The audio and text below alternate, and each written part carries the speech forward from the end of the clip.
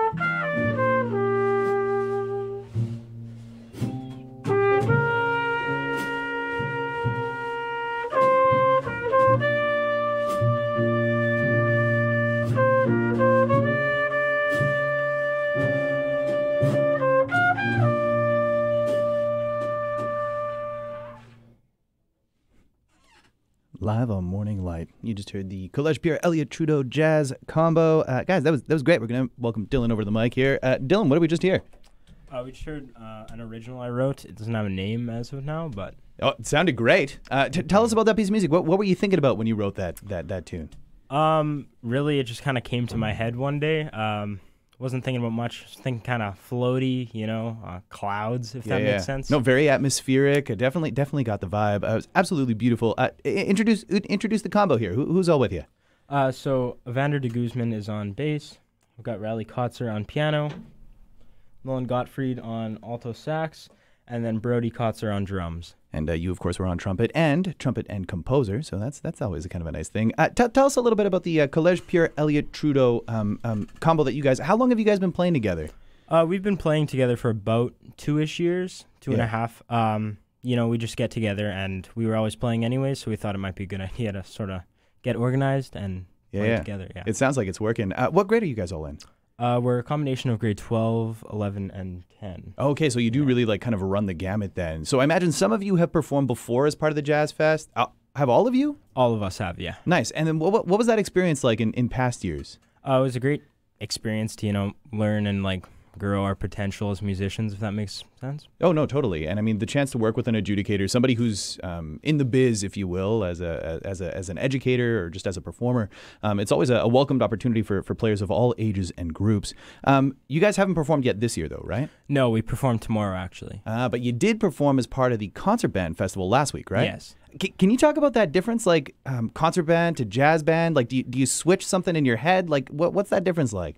Um, I think for us, I think most of us tend to lean towards this style of music more. Um, I think that for us, it's just sort of what we fit into more, what feels better with Yeah. us.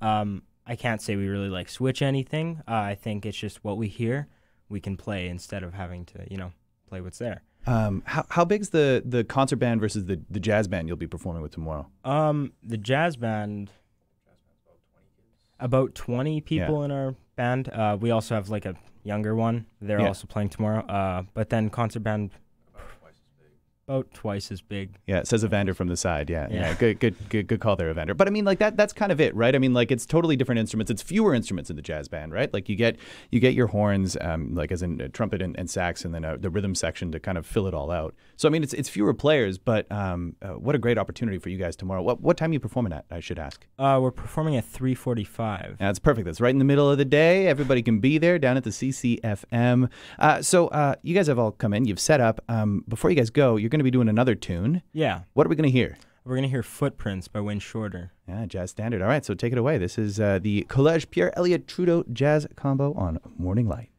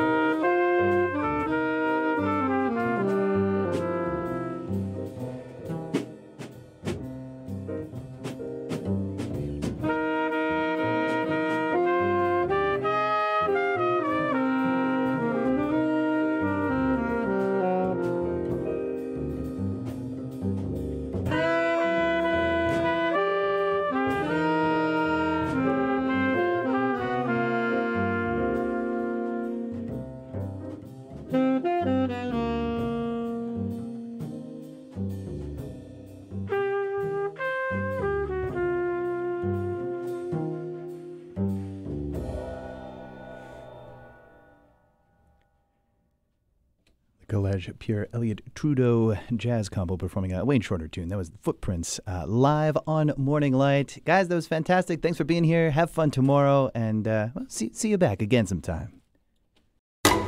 From our studios in downtown Winnipeg, you've been listening to 107 Live, Classic 107's intimate concert series, the soundtrack for your life.